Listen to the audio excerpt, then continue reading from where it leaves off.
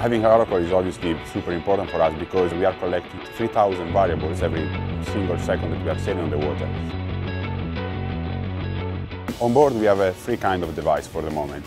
One is a watch, we have a PDA that is basically you wearing your wrist, in your arm. And uh, we have a tablet that fixed on the boat that is for the general purpose information. Where the watch and the PDA are information that are sensible for your specific role on board. I think uh, has been a great advantage because you can have the information, just the information that you need. You don't need to ask to anybody and you have the information at the right time.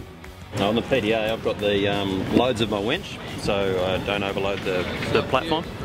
Um, so I've got winch pin load, uh, the Cunningham load and the um, gennaker forestay load.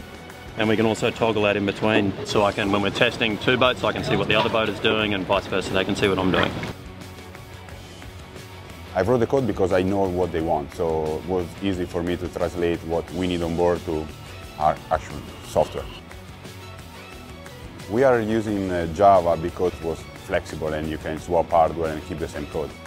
We had a lot of problems at the beginning of uh, dead PDA, like they just died because the pressure of the water was too high. So it has been a long process to find the right hardware and the right, the right code. We have Java around the boat and uh, inside the boat. We have Java here at the base because we have to do all the routing and then some of the analysis software is writing Java.